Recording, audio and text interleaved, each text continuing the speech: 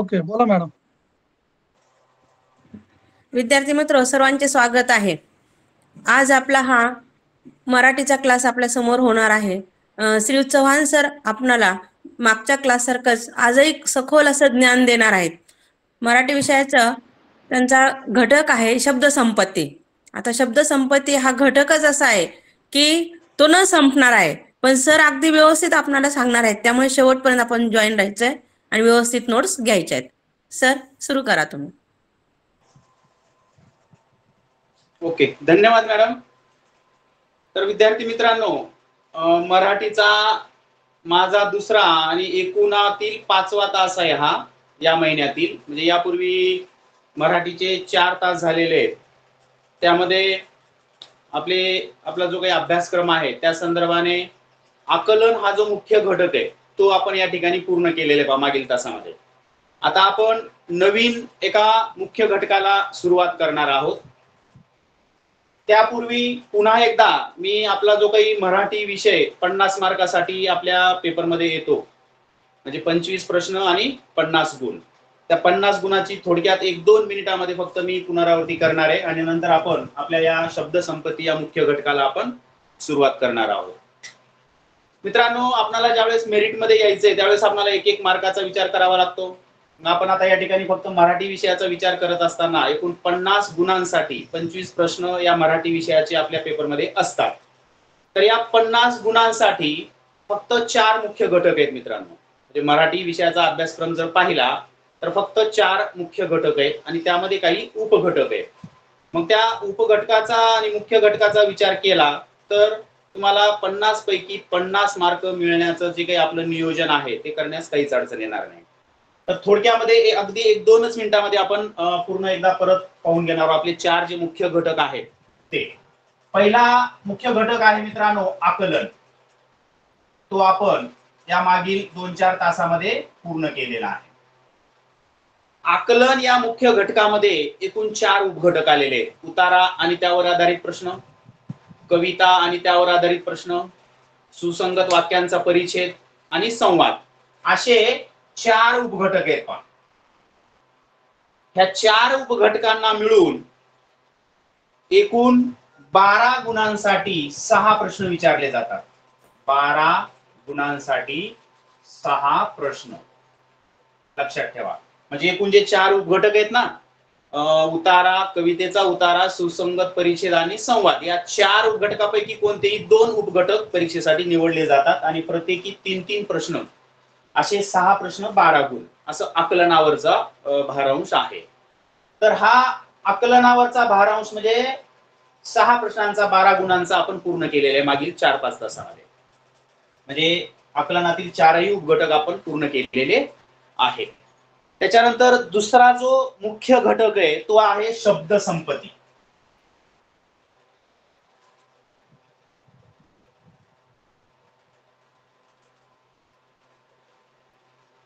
मुख्य घटक आहे शब्द संपत्ती. आणि या शब्द संपत्तीला सुद्धा सेम भारांश आहे बारा गुणांसाठी सहा प्रश्न. मात्र यामध्ये जे उपघटक आहेत ते एकूण आठ उपघटक आहे उपघटक किती आहेत? आठ आहेत. ते कोणकोणते आहेत ते पुढे त्या त्या वेळेस तुम्हाला लक्षात येईल. या आठ उपघटकाला मिळून बारा गुण आणि सहा प्रश्न म्हणजे सेम या दोन्ही मुख्य प्रश्न घटकांना वेटेज आहे. म्हणजे शब्द संपत्तीचे आठ उपघटक आहेत त्या आपण या शब्द संपत्ती या घटकाला सुरुवात करत आहोत आज. त्याच्यानंतर तिसरा मुख्य घटक आहे कार्यात्मक व्याकरण.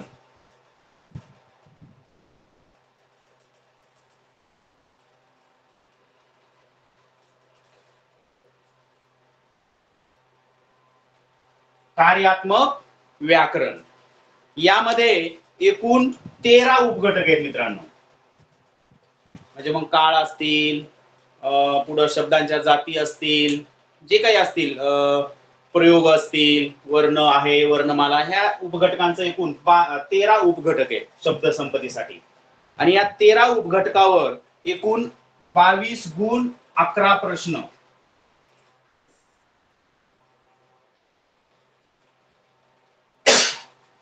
या तेरा उपघटकाला मिळून बावीस गुणांसाठी अकरा प्रश्न विचारले जातात. त्याच्यानंतर चौथा जे उपघटक आपला मुख्य घटक आहे तो पहिली ते आठवी जो मराठी विषय आहे विषया संदर्भाने जो सामान्य ज्ञानाचे प्रश्न असतात. सामान्य ज्ञान. आता याच्यामध्ये उपघटकांची संख्या काही निश्चित नाही. मग त्याच्यामध्ये काही लेखक असतील कवी असतील त्यांची टोपण नावं असतील त्यांची पूर्ण नावं असतील पुस्तक पुस्तकांचे लेखक कवी कवयित्री वगैरे वगैरे. म्हणजे अशा पद्धतीचे जे काही सामान्य ज्ञानावरचे प्रश्न असतात ते पहिली ते आठवीच्या काठीण्य काठिण्य पातळीनुसार ते प्रश्न असतात. तर त्यासाठी चार गुण दोन प्रश्न अशा पद्धतीचा वेटेज आहे. चार गुण आणि दोन प्रश्न. म्हणजे एक दोन प्रश्न ह्या सामान्य ज्ञानावर आधारित विचारले जातात. म्हणजे अमुक पुस्तक कोणत्या लेखकाने लिहिलेलं आहे? त्याचे पॅटर्न वेगवेगळे असतात प्रश्न विचारण्याचे. ते आपण त्या त्या घटकाच्या वेळेस पाहणार आहोत. म्हणजे अशा पद्धतीने ह्या चारच उपघटकामध्ये आपला मराठी विषयांचा अभ्यासक्रम पूर्ण होतो. आणि यासाठी एकूण पन्नास गुणांचं वेटेज आहे. पाहू आपण आपलं.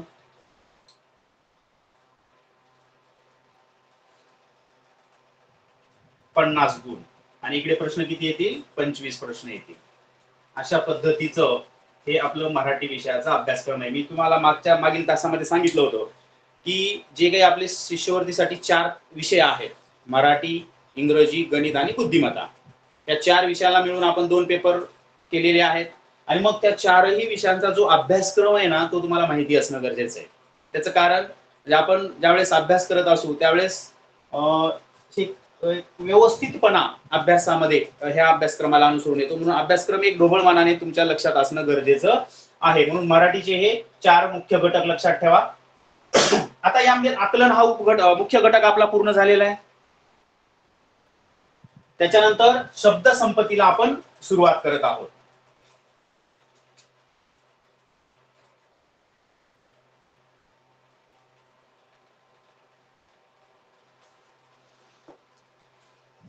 आता शब्द संपत्तीला आपण पाहिलेले बारा गुण सहा प्रश्न आणि एकूण आठ उपघटक. अशा पद्धतीचं हा मुख्य घटक आपल्याला अभ्यासायचा आहे. तर या आठ उपघटकापैकी आज पहिला उपघटक आपण पाहणार आहोत. पण ते आठ उपघटक कोणते आहेत? शब्द संपत्ती या मुख्य पाठामध्ये. किंवा मुख्य घटकामध्ये. त्याच्यामध्ये पहिला आहे पहा, समानार्थी शब्द.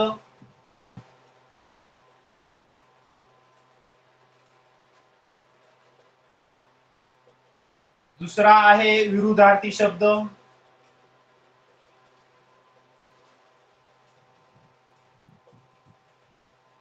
शुद्ध, अशुद्ध शब्द.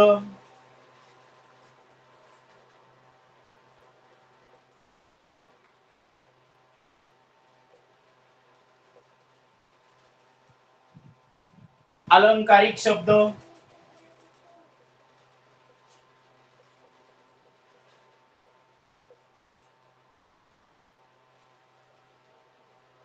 शब्द समूहाबद्दल एक शब्द.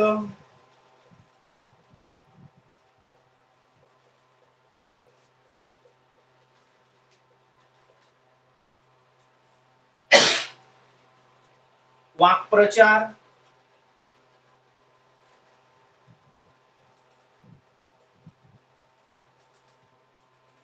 म्हणी आणि पारिभाषिक शब्द.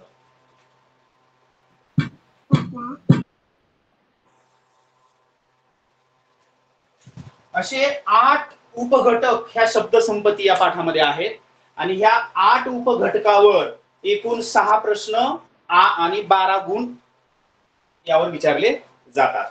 म्हणजे जर असा विचार केला तर या सहा प्रश्नासाठी आपल्याला आठ घटकापैकी सहा घटकावर एक एक एक एक प्रश्न अशा पद्धतीने विचारू शकतात मग ह्या आठ घटकाचा आपल्याला शब्द संपत्तीमध्ये अभ्यास करायचा आहे. आणि आज आपण यामध्ये समानार्थी शब्द जो आहे हा उपघटक या ठिकाणी घेणार आहोत. आता दुसरी एक महत्वाची गोष्ट आहे माझ्या मित्रांनो शब्द संपत्ती हा जो घटक आहे या घटकामध्ये जसे आपण पुढं तिसरा जो मुख्य घटक आहे आपला कार्यात्मक व्याकरण त्या कार्यात्मक व्याकरणामध्ये जसे नियम असतात काही व्याख्या असतात तशा काही गोष्टी याच्यामध्ये नाहीयेत. याच्यामध्ये सरळ सरळ शब्द संपत्तीला अनुसरून हे प्रश्न असणार आहेत. म्हणजे मग समानार्थी शब्द म्हणजे समानार्थाचे शब्द.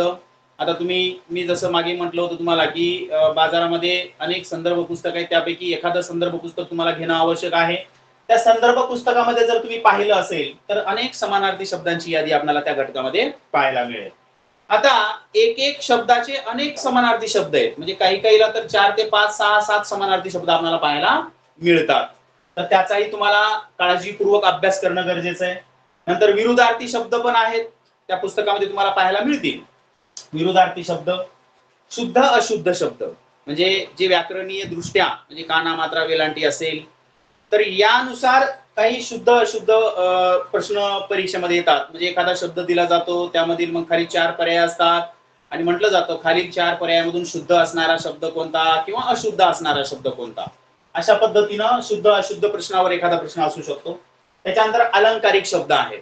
तुम्ही पुस्तकामध्ये पाहू शकता. म्हणजे या सगळ्या गोष्टीला अनुसरून मी जसं म्हटलं की काही विशिष्ट असे नियम असतील काही व्याख्या असतील याचा काही संबंध इथं नाहीये.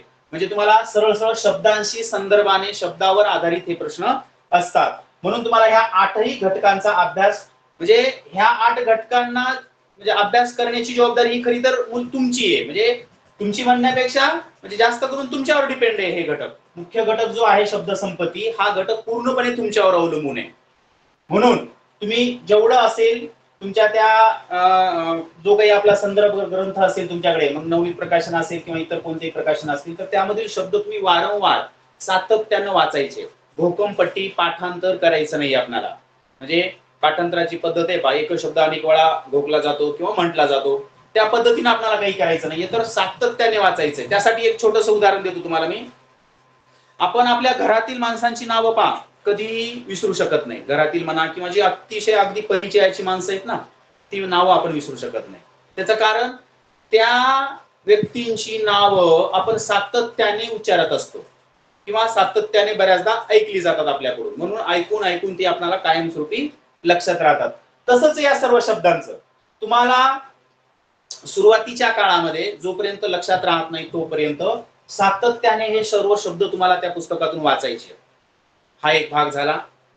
दुसरा हा प्रयोग जर करता आला तुम्हाला तर बघा तुमच्या घरामध्ये जे काही तुमचे मोठे भाऊ बहीण असतील शिकलेले किंवा शिकत असणारे तर त्यांच्यासमोर तुम्ही हे सर्व शब्द त्यांना वाचून दाखवा. किंवा त्यांना वाचायला सांगा तुम्ही ऐका. म्हणजे श्रवण होईल. म्हणजे असं जर थोडस सातत्यपूर्ण काही दिवस जर तुम्ही केलं तर हे सर्व जे शब्द आहेत ना तुमच्या आपोआप लक्षात राहणार आहेत. म्हणजे आपल्याला इथं घोकंपट्टी पाठांतर करायचं नाहीये. म्हणून एक तर तुम्ही वाचायचंय लक्षपूर्वक वाचायचंय. त्याच्यानंतर तुम्ही वाचायचे मोठ्यानं आणि घरातील जे काही भाऊ बहीण असतील तुमचे ते ऐकणार आहेत. त्यांना वाचायला लावायचे आणि तुम्ही ऐकायचे असे दोन तीन प्रकार जर तुम्ही काही दोन चार वेळा जर केले तर नक्कीच हे शब्द संपत्ती सहा प्रश्न बारा गुण आपले हक्काचे असणार आहेत. याच्यामध्ये एकही प्रश्न तुमचा चुकणार नाहीये. म्हणून हे आठ उपघटक आपण पुढील काळामध्ये अभ्यासणार आहोत. एप्रिल महिन्याच्या अभ्यासक्रमानुसार किंवा वेळापत्रकानुसार आपणाला फक्त यामधील पहिला जो उपघटक आहे ना तो घ्यायचा आहे. बाकीचे उपघटक पुढील महिन्यामध्ये दुसऱ्या टीमकडून आपल्यापर्यंत पोहोचवले जाणार आहेत. तर सध्या आपण समानार्थी शब्द या घटकाचा अभ्यास करणार आहोत. आता समानार्थी शब्द हा जो घटक आहे हा तर स्वतंत्र उपघटक आहेच आहे. पण समानार्थी शब्द या उपघटकावरचे प्रश्न दुसऱ्या काही मुख्य घटकाशी संदर्भाने विचारले जातात. म्हणजे ते कसं आता ते पाहणार आहोत आपण. आपण जो पहिला उपघटक पाहिला आकलनाचा. त्याच्यामध्ये पाठावरील उतारा आणि कवितेवरील उतारा. असे दोन उतारे असतात आणि दोन्हीपैकी एक उतारा परीक्षेमध्ये हमखास येत असतो. तर तिथं सुद्धा समानार्थी शब्दाचा प्रश्न म्हणजे शब्द या उपघटकावर आधारित प्रश्न विचारले जातात. ज्यावेळेस तिकडे समानार्थीचा शब्द विचार प्रश्न विचारला जाईल त्यावेळेस ह्या घटकाअंतर्गत सुद्धा एखादा दुसरा प्रश्न परीक्षेत विचारला जाऊ शकतो. म्हणजे दोन दोन प्रश्न समानार्थी शब्दावरही असू शकतात. म्हणजे एक आकलनाच्या संदर्भाने आणि एक शब्द संपत्तीच्या संदर्भाने. मग आता समानार्थी शब्दाचे प्रश्न त्या आकलनावर पाठाचा उतारा आणि कवितेचा उतारा जो आहे त्यावर कशा पद्धतीचे असू शकतात पहा. वरील उतार्यामध्ये अमुक अमुक शब्दाच्या अर्थाचा कोणता शब्द आलेला आहे अशा पद्धतीचा प्रश्न असू शकतो. कवितेच्या उतार्यावर पण त्याच पद्धतीनं. म्हणून समानार्थी शब्द हा जो उपघटक आहे तो नियमितपणे त्यावर एखादा प्रश्न असू शकेल किंवा आकलना आकलन या मुख्य घटकाच्या संदर्भाने एखादा प्रश्न असू शकेल. मग समानार्थी शब्द आता मी या ठिकाणी तुम्हाला काही पुस्तकामध्ये जे काही समानार्थी शब्द आहेत ते काही तुम्हाला मी वाचू वाचून दाखवणार नाही या ठिकाणी. तुम्हाला मी जे ते तीन प्रकार सांगितले. कोणते? एक तुम्ही स्वतः वाचायचंय नंतर तुम्ही वाचून दाखवायचंय तुमच्या घरातील भाऊ बहिणी समोर किंवा त्यांच्याकडून वाचन करून घ्यायचंय आणि तुम्ही ऐकायचंय. असे दोन तीन प्रकार जर एक आठवडाभर किंवा आठ पंधरा दिवस आपण सुरुवातीच्या काळात जर केले तर एकूण माझ्या मते शंभर दोनशे शंभर दीडशे दोनशे अशा पद्धतीचे शब्द तुम्हाला त्या पुस्तकामध्ये पाहायला मिळतील. समानार्थी विरुद्धार्थी अलंकारिक शुद्ध अशुद्ध वगैरे जे काही असतील ते. तर यांचं जर तुम्ही त्या पद्धतीने केलं तर आपले बारा गुण कुठेही गेलेले नाहीत मित्रांनो. म्हणून समानार्थी शब्द आता मी हा जो घटक शिकवणार आहे तुम्हाला आता उदाहरणांच्या माध्यमातून शिकवणार आहे. म्हणजे काही उदाहरणं आपण या ठिकाणी सोडून घेणार आहोत. म्हणजे ते पॅटर्न म्हणू आपण म्हणजे समानार्थी शब्दावर कशा पद्धतीचे प्रश्न विचारले जाऊ शकतात. कारण का प्रश्न विचारण्याची पद्धत वेगवेगळी असते. जे सरळ सरळ प्रश्न कधी कधी सरळ सरळ असतो. अमुक शब्दाचा समानार्थी शब्द काय आहे? असा असतो. किंवा मग जे जे काही पॅटर्न आहेत किंवा त्या पॅटर्न म्हणण्यापेक्षा म्हणजे प्रश्न विचारण्याची पद्धत म्हणूया आपण. तर अशा वेगवेगळ्या पद्धतीने प्रश्न विचारले जातात. तर त्यामधल्या काही पद्धती काही पॅटर्न आपण उदाहरणांच्या माध्यमातून समजून घेऊया. आता मी पुढे तुमच्यासमोर एक स्क्रीन शेअर करत आहे. शिरसाट सर हा बोला सर मला हे केलंय ना? हो.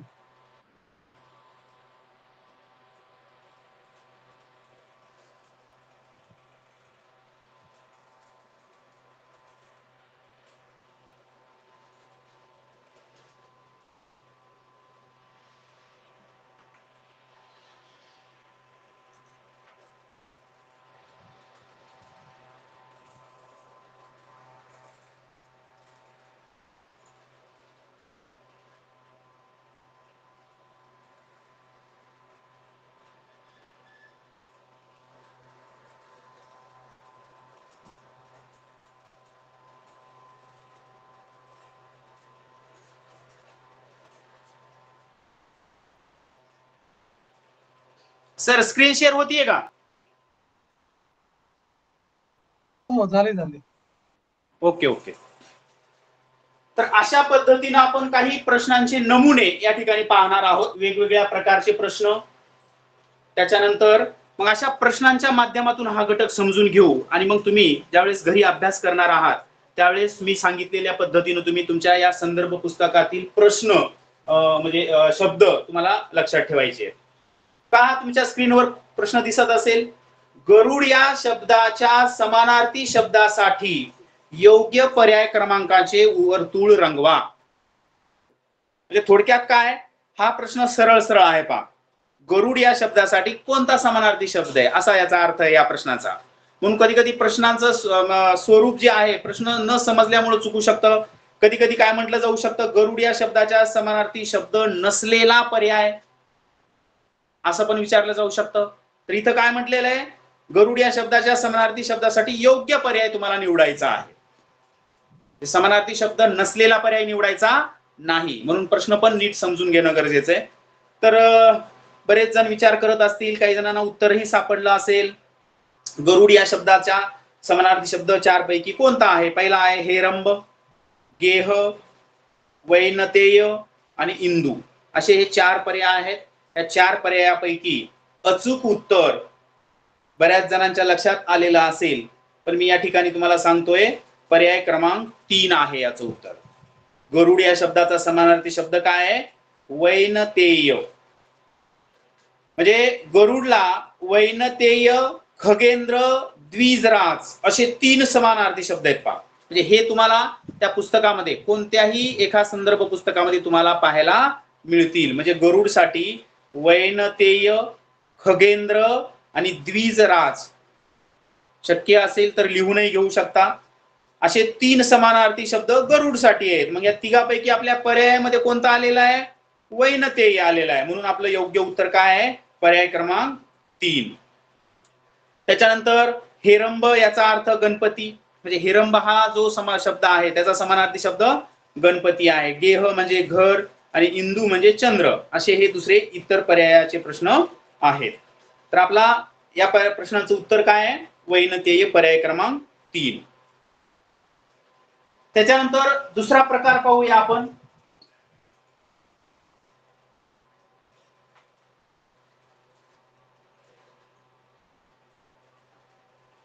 म्हणजे समानार्थी शब्द घटकावर विचारल्या जाणाऱ्या प्रश्नांचा हा दुसरा नमुना म्हणा किंवा दुसरा प्रकार पुढील पैकी समानार्थी शब्दांची योग्य जोडी असणाऱ्या पर्याय क्रमांकाचे वर्तुळ रंगवा.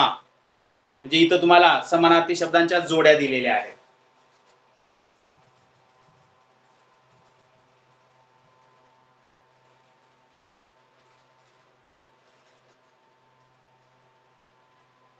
ह्या समानार्थी शब्दांच्या जोड्यापैकी योग्य जोडी असणारा पर्याय तुम्हाला निवडायचा आहे. म्हणजे पहिला प्रश्न आपण सरळ सरळ विचारलेला पाहिला. इथं थोडस समानार्थी शब्दांच्या जोड्या दिलेल्या आहेत. करा विचार. अनेक जणांना उत्तर सापडलेलंही असेल. तर इथे योग्य उत्तर आहे पर्याय क्रमांक चार. म्हणजे पुढील समानार्थी शब्दांची योग्य जोडी असणाऱ्या पर्याय क्रमांकाचे वर्तुळ रंगवा. पर्याय क्रमांक चार हे योग्य उत्तर आहे. आणि सुरुवातीच्या ज्या तीन जोड्या आहेत त्या चुकलेल्या आहेत चुकीच्या आहेत. म्हणजे चौथा काय आहे? पोपट रावा. म्हणजे पोपटाला रावा शुक राघू असे समानार्थी शब्द आहेत पा काय काय? रावा शुक राघू असे समानार्थी शब्द पोपटाला आहेत. म्हणून याचं उत्तर पर्याय क्रमांक चार आहे. आणि पहिले तीन पर्याय जे आहेत ते चुकीचे आहेत. म्हणजे चुकीच्या जोड्या आहेत समानार्थी शब्दाच्या. अशा पद्धतीनं समानार्थी शब्दांच्या जोड्यावर आधारित प्रश्न असू शकतात किंवा सरळ सरळ एखाद्या शब्दाचा समानार्थी शब्द असलेला तुम्हाला निवडायला सांगितलं जातं. अशा पद्धतीनं आता तिसरा प्रकार पाहूया आपण म्हणजे नमुना की तिसरा प्रकार पॅटर्न म्हणू आपण त्या प्रश्नांचा किंवा समानार्थी शब्दावर आधारित कशा पद्धतीचे प्रश्न असू शकतात. तर हा तिसरा प्रश्न आहे खालीलपैकी वेगळा अर्थ असणारा शब्द निवडा. म्हणजे विचार करा काय प्रश्न समजून घ्या आधी नीट. वेगळा अर्थ असणारा शब्द निवडा. याचा अर्थ खाली जे चार पर्याय दिलेले आहेत त्या चार पर्यायापैकी तीन पर्यायाचे जे शब्द आहेत ना ते एकमेकांचे समानार्थी शब्द आहेत. आणि एकच शब्द जो आहे तो गटाच्या बाहेरचा आहे. म्हणजे बुद्धिमतेमध्ये पहा गटात न बसणारा शब्द विचारला जातो पहा बुद्धिमता या घटकामध्ये. खालीलपैकी गटात न बसणारी संख्या शोधा खालील पर्यायामध्ये गटात न बसणारा शब्द शोधा. म्हणजे तिथे काहीतरी निकष वापरून तीन शब्दांचे गट केले जातात आणि एक शब्द त्या गटातील बाहेरचा असतो. म्हणजे कदाचित समानार्थी शब्दावर आधारित सुद्धा प्रश्न बुद्धिमत्ते गटा बुद्धिमतेमध्ये बुद्धिमत्तेमध्ये गटात न बसणाऱ्या या उपघटकामध्ये विचारला जाऊ शकतो. म्हणून अनेकदा अनेक विषयांचा एकमेकांशी संबंध जोडला जातो. म्हणून आपणाला सर्व विषयांचा अभ्यास करायचा आहे. सर्व विषयांना सारख्याच पद्धतीने आपणाला महत्त्व द्यायचंय कारण का आपणाला मेरिटमध्ये यायचंय. आपणाला फक्त शिष्यवृत्ती परीक्षा पास करायची नसून आपणाला दोन हजार पंचवीसमध्ये राज्याच्या मेरिटमध्ये यायचंय. त्यासाठी तुमची निवड करून तुम्हाला हे वर्षभर प्रशिक्षण दिलं जाणार दिलं जात आहे. म्हणून एक एक प्रश्न एक एक उपघटक एक एक घटक आपणाला खूप महत्त्वाचा आहे. अमुक घटक कमी महत्त्वाचा अमुक घटक कमी महत्त्वाचा असा प्रकार अजिबात करायचा नाही. आपल्याला सर्व घटक सर्व विषय आपणाला महत्त्वाचे आहेत. कारण का? मेरिट हे एका एका मार्कामुळे मेरिट जाऊ शकतं. आणि अं, आपल्या एका चुकीमुळं दुसऱ्या मुलांचा नंबर येऊ शकतो. म्हणून आपल्याला सर्व घटकाचा सर्व विषयांचा विचार करायचा आहे. पहा बरं. खालीलपैकी वेगळा अर्थ असणारा शब्द निवडा. पहा पहिला पर्याय काय? कुर्म. दुसरा आहे कच्छप. तिसरा आहे कमठ आणि काक. आता मी जसं म्हटलं की इथं तीन शब्द जे आहेत ते एकमेकांचे समानार्थी शब्द आहेत. आणि एकच शब्द जो आहे तो वेगळा आहे. आता कधी कधी बा प्रश्न सोडवत असताना म्हणजे तुम्हाला इथं चार पर्यायापैकी कोणते तीन समानार्थी शब्द आहेत हे जरी माहीत नसेल तरी तुम्हाला इथं उत्तर निवडता येतं. ते कसं पहा? कधी कधी असं बऱ्याच प्रश्नामध्ये आपणाला उत्तरांकडून उत्तरांक म्हणजे चुकीच्या उत्तरांकडून चुकीच्या पर्यायाकडून उत्तराकडे जाता येतं आणि योग्य पर्यायाकडून उत्तराकडे पण जाता येतं. तर आपण आता चुकीच्या पर्यायाकडूनही जाऊ शकतो पहा. म्हणजे तुम्हाला कुर्म कच्छप कमट या शब्दांचा अर्थ जरी माहीत नसला तरी तुम्हाला इथं उत्तर निवडता येऊ शकतं. ते कसं? आता काक हा जो शब्द आहे हा शब्द सोपा वाटतो पा म्हणजे बऱ्याचदा आपण ऐकतो किंवा बऱ्याच जणांना ऐक ऐकलं असेल. तर काक याचा अर्थ काय किंवा काकचा समानार्थी शब्द काय? कावळा आहे. अगदी बरोबर. काकचा समानार्थी शब्द काय आहे? कावळा. मग हे बाकीचे जे तीन शब्द आहेत ना हे कावळ्याच्या संदर्भाने नाहीये. म्हणजे एक आपण इथं आवाज आला का? तर या ठिकाणी आपण बाकीचे उरलेले तीन पर्याय जे आहेत त्या तीन पर्यायांचा एक गट आहे असं गृहीत धरून आपण उत्तर इथे देऊ शकतो. आणि जर तुम्हाला कुर्म कच्छप कमट यांचा जर अर्थ माहीत असेल आणि हे तीन एकमेकांचे समानार्थी शब्द असं जर आहेत असं जर माहीत असेल तर अगदी काही अडचणच नाहीये. पण जरी तुम्हाला त्या तिघांचा अर्थ माहीत नसेल तरी तुम्ही काककडून जाऊ शकता. काक म्हणजे कावळा पण बाकीचे पर्याय मात्र कावळ्याच्या समानार्थी शब्द नाहीयेत. हे तुम्हाला माहीत असणं गरजेचं आहे आणि माहीत असू शकतं. तर त्या अनुसरून आपण चुकीच्या पर्यायाकडून योग्य उत्तराकडे या ठिकाणी आलेलो आहोत. मग याचं उत्तर काय माहितीये का? चार पर्याय क्रमांक आहे. म्हणजे खालीलपैकी वेगळा अर्थ असणारा शब्द कोणता आहे? तर चौथा पर्याय. काक हा जो आहे तो वेगळा अर्थ. तो कसा? कुर्म कच्छप आणि कमट हे जे तीन पर्याय आहेत ना ते कासव या शब्दाचे समानार्थी शब्द आहेत पहा. कशाचे? कासव या शब्दाचे समानार्थी शब्द आहेत. आणि काक म्हणजे कावळा हा कावळा वेगळा अर्थाचा शब्द आहे. म्हणून या ठिकाणी आपलं योग्य उत्तर आहे काक. आता आपण एक दोन तीन नमुने पाहिले की समानार्थी शब्दावर आधारित कशा पद्धतीचे प्रश्न असू शकतात. आता मी तुमच्यासाठी एकूण दहा प्रश्न दहा प्रश्न तुमच्यासमोर मी ठेवणार आहे आता. तर तुम्हाला ते दहा प्रश्न सोडवण्याचा प्रयत्न करायचा आहे. मग साधारणतः दहा मिनिटाचा वेळ त्यासाठी मी देईल. दहा मिनिटानंतर परत आपण त्या दहा प्रश्नावर चर्चा करूया. तर तुम्ही हे दहा प्रश्न तुमच्या वहीमध्ये लिहून सोडवायचे आहेत. त्यांची उत्तरं पण पुढे नोंदवायची आहेत. म्हणजे कशा पद्धतीने सोडवायचं मी तुम्हाला सांगेल पुढची स्क्रीन दाखवल्यानंतर.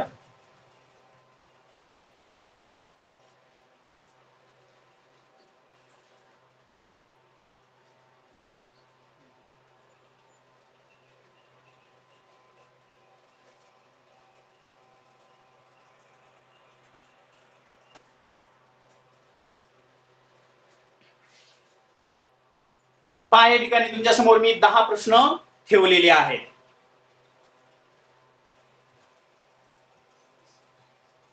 तर या ठिकाणी तुम्हाला काय करायचंय आता? हे दहा प्रश्न सोडवायचे कसे सोडवायचे ते पहा. पूर्ण प्रश्न पर्याय लिहित बसायचं नाहीये. तर पहिला प्रश्न जो आहे तो काय आहे? खव आहे खच्या पुढे दोन टिंब आहेत पहा. आणि त्याच्या पुढे चार पर्याय आहेत. तर त्या चार पर्यायापैकी योग्य जो पर्याय असेल ना तेवढाच पर्याय फक्त तुम्हाला लिहायचा आहे वहीमध्ये. समजा एक नंबरचं उत्तर असेल तर एक नंबर द्या विहंग द्या. दोन असेल तर दोन नंबर रास. त्या चार पर्यायापैकी योग्य पर्याय असलेलं उत्तर तुम्हाला तिथं फक्त पर्याय क्रमांकाने त्याचा उत्तर शब्द जो असेल तो लिहायचा आहे. सगळे पर्याय लिहित बसू नका. अशा पद्धतीनं हे दहा प्रश्न सोडवा. त्यासाठी दहा मिनिटाचा वेळ मी देत आहे. आणि दहा मिनिटानंतर परत या प्रश्नावर आपण चर्चा करूया. काय करायचं या ठिकाणी? खालील शब्दाच्या समानार्थी शब्दाच्या पर्याय क्रमांकाचे वर्तुळ रंगवा. म्हणजे खपचा समानार्थी शब्द कोणता आहे ते शोधायचंय. धनुष्याचा समानार्थी शब्द कोणता आहे ते शोधायचंय. अशा पद्धतीनं तुम्ही हे दहा प्रश्न सोडवा पुढील दहा मिनिटामध्ये.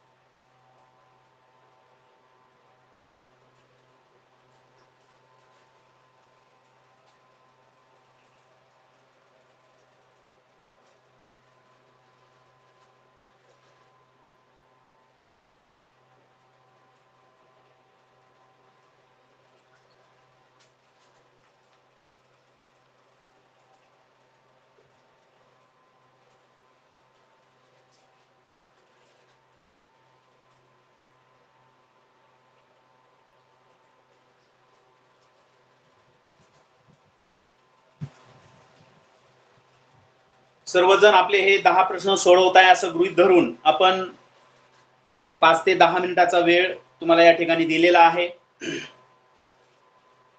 शब्द व्यवस्थित वाचून त्यापुढील चारही पर्याय वाचायचे आहेत. घाई गडबडीमध्ये उत्तर न लिहिता विचार करून. ठीक आहे हा सुरुवातीचा टप्पा आहे. आता तुमचे सर्व शब्द पाठही नसतील किंवा तुमच्या लक्षात नसतील. काही हरकत नाही. पण यापुढे तुम्हाला मी काय करायचं ते पण सांगणार आहे. पण तुम्ही प्रयत्न करायचा आहे की हे दहा प्रश्न सोडवण्याचा. म्हणजे दहा पैकी किती प्रश्न बरोबर येतात हे पण आपण चेक करणार आहोत. यांची उत्तरं मी तुम्हाला सांगणार आहे.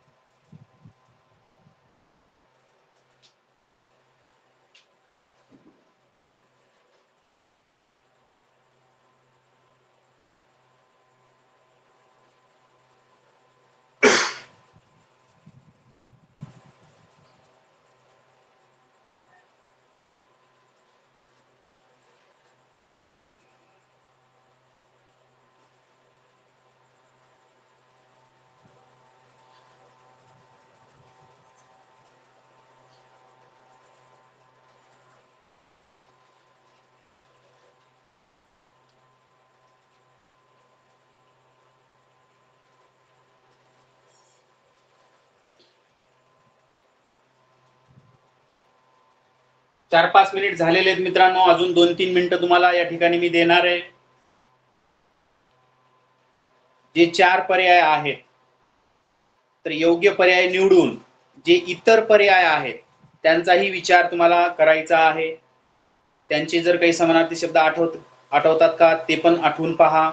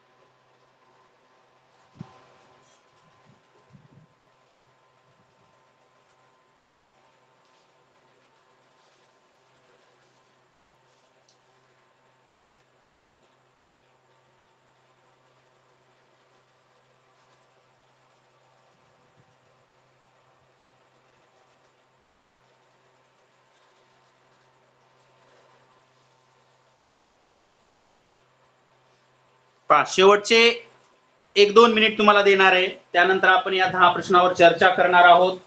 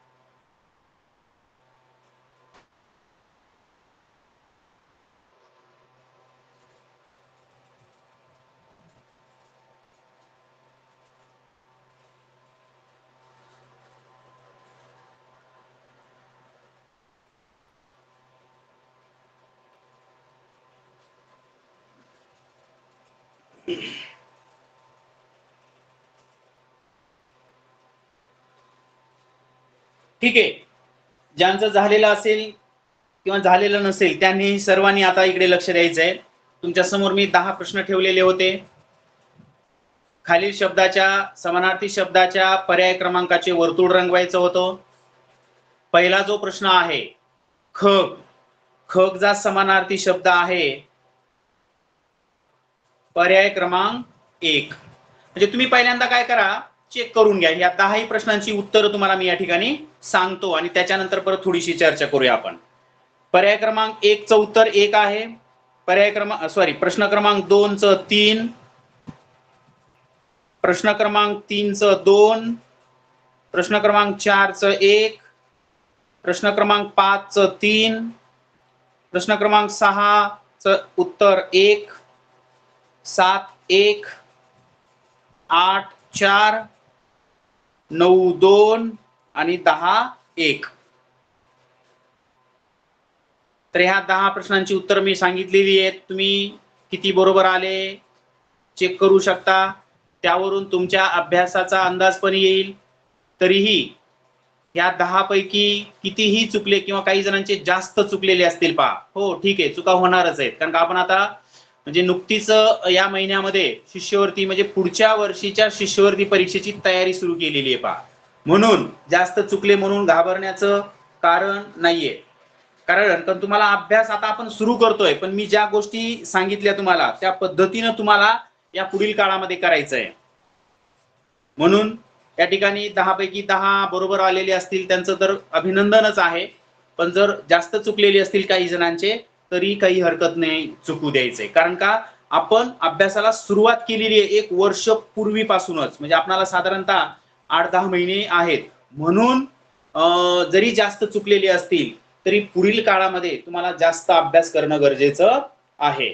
आता हे जे दहा प्रश्न आहेत ह्यात प्रत्येक प्रश्नांचं पाहू आपण. खचं काय समानार्थी शब्द? विहंग आहे. पुढे रास खच विदू हे जे आहेत हे चुकीचे पर्याय आहेत. नंतर धनुष्य. धनुष्यला तीन नंबर. कोदंड. धनुष्याचा समानार्थी शब्द काय आहे? कोदंड.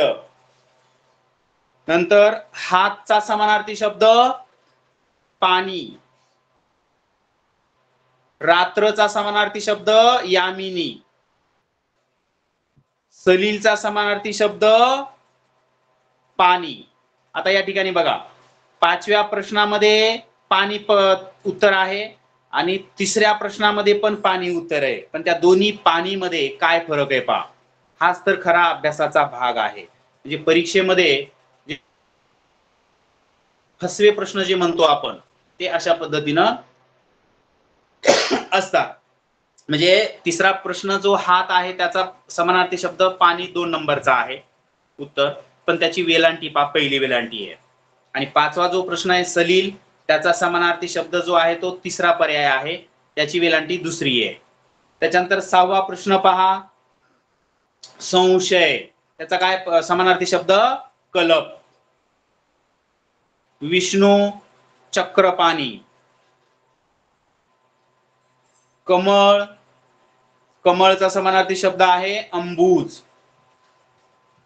आणि इच्छा इच्छाचा समानार्थी शब्द आहे कांक्षा. आपण म्हणतो ना इच्छा कांक्षा वगैरे. त्याच्यानंतर दूधचा समानार्थी शब्द क्षीर. अशा पद्धतीने हे समानार्थी शब्द आहेत. तर तुम्हाला आता या अं, दहा प्रश्नावरून तुम्हाला काय करायचंय? ह्या दहा प्रश्नाचे आता खग आहे खगचा समानार्थी शब्द विहंग आहे पण इतरही जर अजून काही समानार्थी शब्द आहेत का? हे तुम्हाला आता तास संपल्यानंतर किंवा उद्याला तुम्हाला शोधायचे म्हणजे तुमचा घरचा अभ्यास मी सांगतोय तुम्हाला. खगचे कोणकोणते समानार्थी शब्द आहेत? किती आहेत? ते तुम्हाला शोधायचे आहेत. विहंग तर आहेच आहे त्याचबरोबर इतर कोणते आहेत? कारण का पुढील परीक्षेमध्ये खगचा समानार्थी शब्द विचारला जाऊ शकतो पण तिथे विहंग पर्याय असू शकत नाही. त्याचे जे इतर पर्याय आहेत समानार्थीचे त्यापैकी असू शकेल. म्हणून खगचे सर्व समानार्थी शब्द तुम्हाला लक्षात ठेवायचेत वाचायचेत आणि याच ठिकाणी वहीमध्ये तुम्हाला लिहायचे त्याच्यानंतर धनुष्याचा आहे हात आहे हे जे दहा प्रश्न प्रश्नाचे जे शब्द आहेत ना ह्या प्रत्येक शब्दाचे समानार्थी शब्द किती आहेत आणि कोणते आहेत हे तुम्हाला त्या तुमच्या पुस्तकातून शोधून लिहायचं आहे मित्रांनो. आणि दुसरी महत्वाची गोष्ट मी तुम्हाला काय सांगितलेली आहे? शब्द संपत्तीचे जे काही आठ उपघटक आहेत त्या आठही उपघटकाला याच पद्धतीने अभ्यास करायचा आहे. कोणत्या पद्धतीने? तीन पद्धतीने तुम्हाला सांगितलेत. म्हणजे त्या प्रकार आहेत. या वेगळ्या याच्यापेक्षा वेगळ्या पद्धतीने तुम्ही अभ्यास करू शकता. पण एक तीन पद्धती कोणत्या आहेत? पहिल्यांदा आहे तुम्हाला हे सर्व शब्द वाचायचे आहेत तुमच्या त्या संदर्भ पुस्तकातले.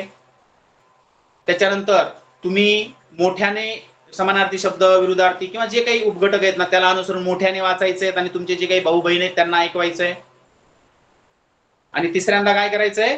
तुमच्या भाऊ बहिणीला वाचायला लावायचंय. म्हणजे मूळ शब्द आणि त्याचे असलेले सर्व समानार्थी शब्द आणि तुम्ही ऐकायचे. अशा पद्धतीनं फक्त यामध्ये सातत्य महत्वाचं आहे. मी जसं उदाहरण दिलं की एखाद्या आपल्या घरातली माणसांची नावं आपण कधीच विसरू शकत नाही. बरोबर ना? का विसरू शकत नाही? तर ती आपण सातत्याने उच्चारत असतो सातत्याने ऐकत असतो. तसंच तुम्हाला हे सर्व शब्द संपत्तीचे जे उपघटक आहेत ते सातत्याने काही काळ वाचायचे आहेत. काही काळ म्हणजे किती काळ जोपर्यंत आपल्या कायमस्वरूपी लक्षात राहत नाही तोपर्यंत. सातत्याने वाचायचे आहेत सातत्याने ऐकायचे पण आहेत आणि दुसऱ्यांना ऐकवायचे पण आहेत. अशा पद्धतीने हे शब्द संपत्तीतले जे आठ उपघटक आहेत ना ते तुम्ही आठ उपघटका उपघटकाची तयारी करू शकता. आणि मी तुम्हाला मागाशी सांगितले की ह्या शब्द संपत्तीतील आठ उपघटकाचा संबंध कुठे कुठे येतो पहा? आपल्या आकलनाच्या पहिल्या भागामध्ये पण येता येणार आहे. त्याचबरोबर तिकडे बुद्धिमत्तेमध्ये पण काही प्रश्न या पद्धतीचे समानार्थी विरुद्धार्थी शब्दसमूहाबद्दल शब्द वगैरे म्हणजे गटात न बसणारा शब्द शोधा गटात असलेला शब्द शोधा वगैरे अशा पद्धतीने असू शकतं. म्हणून तुम्हाला हे जे शब्द संपत्तीचे घटक आहेत ते खूप महत्त्वाचे आहेत. म्हणजे याचा संदर्भ इतर उपघटकामध्ये पण येणार आहे. अशा पद्धतीने तुम्हाला अभ्यास करायचा आहे. आता पुढे आपण अजून काही प्रश्नांचा उदाहरणांचा अभ्यास या ठिकाणी करूया. म्हणजे अजून तुम्हाला प्रश्न कशा पद्धतीचे असतात याची पुरेपूर कल्पना येईल. पहा इथे काय म्हटलेले प्रत्येक प्रश्नात दिलेल्या शब्दांचे तीन समानार्थी शब्द आहेत. व एक शब्द भिन्न अर्थाचा आहे. त्या शब्दाचा पर्याय क्रमांक किंवा पर्याय तुम्हाला योग्य वर्तुळ रंगवायचे. आहे म्हणजे पाठीमागच्या प्रश्नामध्ये दहा प्रश्न जे पाहिले तिथे काय होता? एकच पर्याय योग्य उत्तराचा होता. पण इथे काय? आहे तीन शब्द समानार्थी शब्द आहेत पहा. आणि एक नसलेला आहे तो तुम्हाला शोधायचा आहे. म्हणजे मी तुम्हाला सांगितलं की समानार्थी शब्द एका शब्दाचे अनेक समानार्थी शब्द असतात. कदाचित सात आठ नऊ दहा पर्यंत पण काही काही शब्दाला असू शकतात. म्हणून तुम्हाला ते सर्व सर्व लक्षात ठेवायचंय. पहा परत तुम्हाला मी एक पाच मिनिटाचा वेळ देणार आहे. या ठिकाणी किती प्रश्न आहेत? एकूण पंचवीस प्रश्न आहेत. पहा अकरा ते पंचवीसपर्यंत. आणि दुसरा प्रकार आहे पहा खाली पुढील प्रत्येक प्रश्नातील वेगळा अर्थ असलेल्या पर्याय क्रमांकाचे वर्तुळ रंगवायचं आहे म्हणजे तिथे सुद्धा तीन पर्यायाचे गट आहेत. आणि ते तीन पर्याय समानार्थी आहेत आणि एक वेगळा आहे. आणि सुरुवातीचे अकरा ते पंधरा प्रश्न कसे आहेत? मूळ शब्द दिलेला आहे आणि त्याचे समानार्थी शब्द असलेले तीन शब्द आहेत आणि एक वेगळा आहे. अशा पद्धतीनं हे पंधरा प्रश्न आता यासाठी वेळ खूप कमी देणार आहे मी. एक पाच सात मिनिटं किंवा दोन चार मिनिटांमध्ये तुम्हाला फक्त प्रश्न आणि त्याचं योग्य उत्तर असलेला पर्याय. एवढंच लिहायचंय. सर्व पर्याय लिहित बसू नका.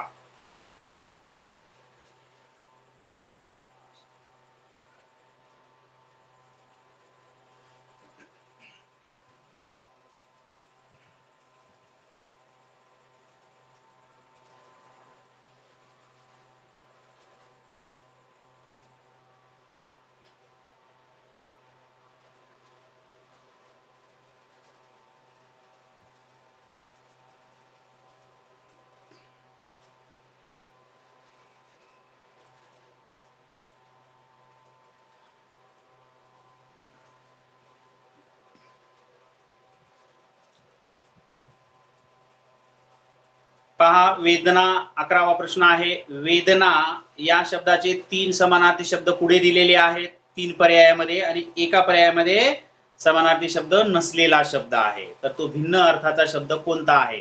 तो तुम्हाला शोधायचा आहे. त्याच्यानंतर रात्र आहे भांडण तलाव आणि अही.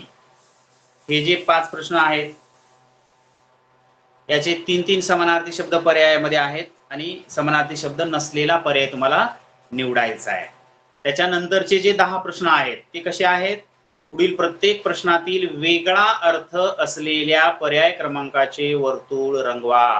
म्हणजे जे चार पर्याय आहेत ना त्या चार पर्यायापैकी तीन पर्यायातील शब्द हे एकमेकांचे समानार्थी शब्द आहेत. आणि एक वेगळा पर्याय आहे समानार्थी शब्द नसलेला.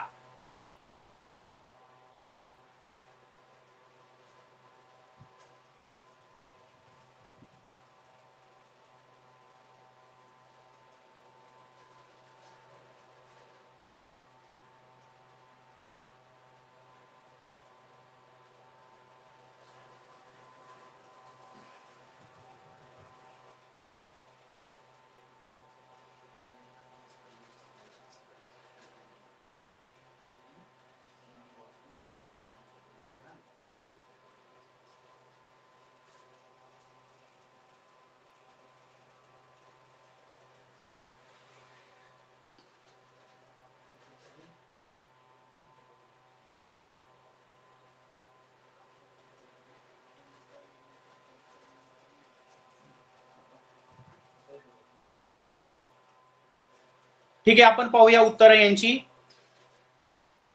प्रत्येक प्रश्नात दिलेल्या शब्दाचे तीन समानार्थी शब्द आहेत व एक शब्द भिन्न अर्थाचा आहे. त्या शब्दाचा पर्याय क्रमांक तुम्हाला शोधायचा होता.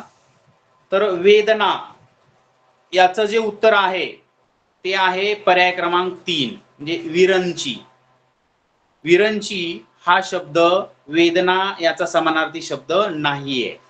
म्हणजे दुःख व्यथा आणि शूळ. हे तीन शब्द वेदना या शब्दाचे समानार्थी शब्द आहेत. तुम्ही तिथं लिहूनही घेऊ शकता वेदना त्याच्या पुढे दुःख व्यथा आणि शूळ हे तीन समानार्थी शब्द आहेत. म्हणजे विरंची हे नाहीये म्हणजे आपल्याला भिन्न अर्थाचा शब्द शोधायचा होता. त्याच्यानंतर बारा नंबर आहे पहा रात्र. रात्र त्याचे जे चार पर्याय आहेत बघा यामिनी निशा आणि रजनी.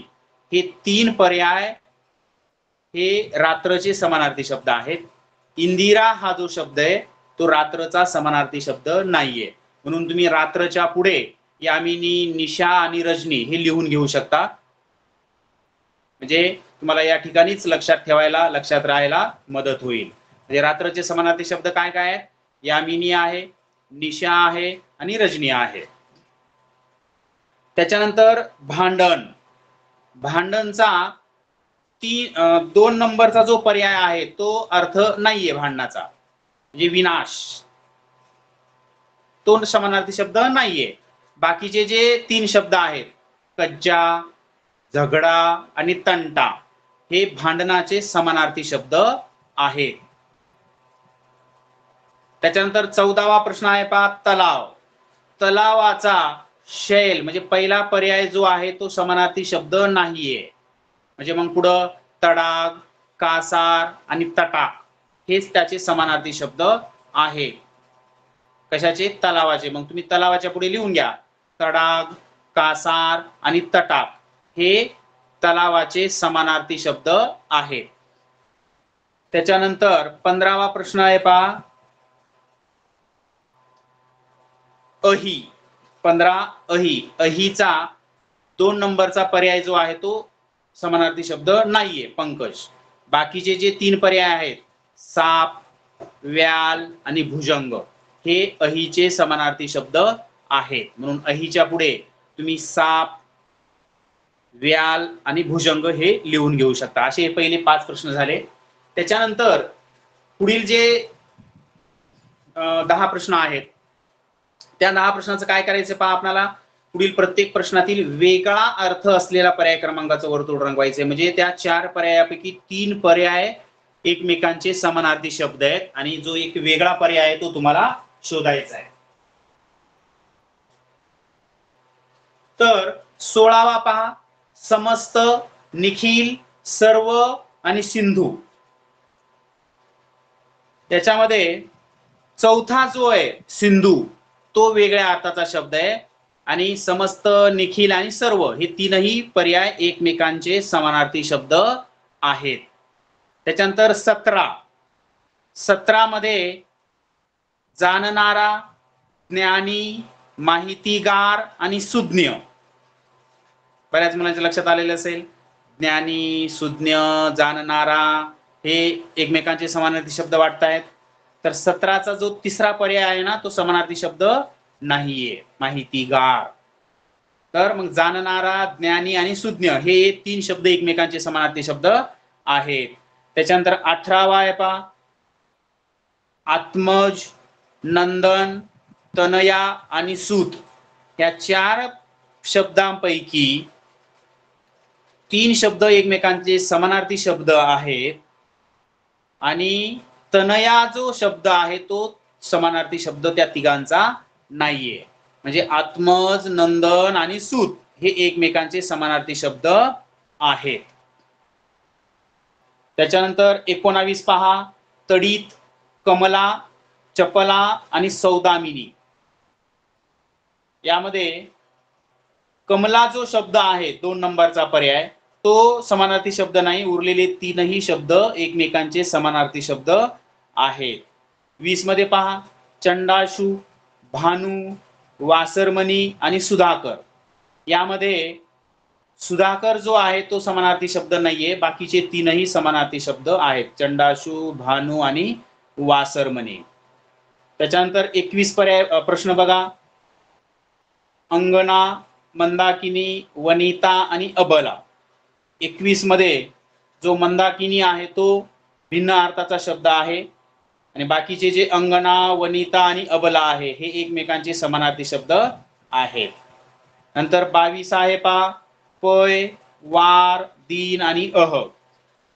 बावीस. तर त्याच्यामध्ये एक नंबरचा जो आहे पय तो समानार्थी शब्द नाहीये उरलेल्या तीनचा.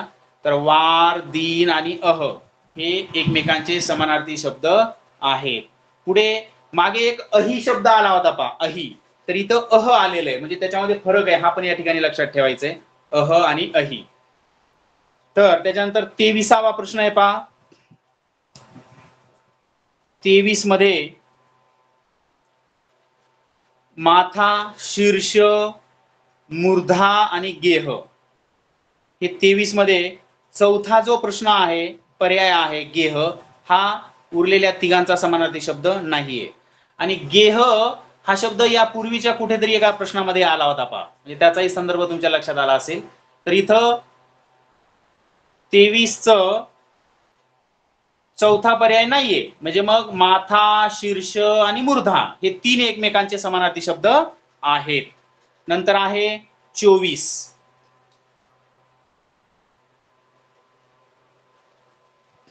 चोवीस पहा. योम प्रमोद ख आणि अंबर. याच्यामध्ये ख जो आहे तीन नंबरचा तो वेगळा शब्द आहे. आणि योम प्रमोद आणि अंबर हे एकमेकांचे समानार्थी शब्द आहे. त्याच्यानंतर पंचवीसावा प्रश्न पहा. विनायक हेरंब हिमांशू आणि विघ्नेश. याच्यामध्ये हेरंब जो आहे तो पण मागील सुरुवातीच्या दहा प्रश्नामध्ये आलेला होता पहा. तर हेरंब हा वेगळ्या अर्थाचा शब्द आहे आणि विनायक हिमांशू आणि विघ्नेश हे एकमेकांचे समानार्थी शब्द आहे ठीक आहे पंचवीसपर्यंत पाहूया आपण. सव्वीसावा प्रश्न तुम्हाला दिसायला अडचण येत असेल स्क्रीन मध्ये. तर एक साधारण हा जो घटक आहे पहा याच्यामध्ये कोणते? नियम कोणत्या व्याख्या किंवा काही अटी शर्ती असं काहीच नसतं. याच्यामध्ये सरळ सरळ तुमच्या शब्दसंपत्तीचा या ठिकाणी विचार केला जातो. म्हणून मी जसं सांगितलं तुम्हाला की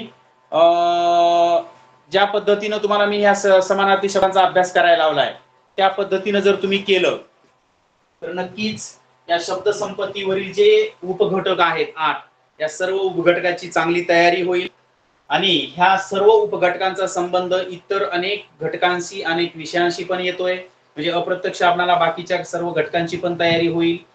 अशा पद्धतीने समानार्थी शब्दाचा हा घटक हे आपण या ठिकाणी पूर्ण करतोय. आणि एप्रिलमध्ये जो काही आपल्याला मराठी विषयाचा अभ्यासक्रम पूर्ण करायचा होता तो या ठिकाणी झालेला आहे.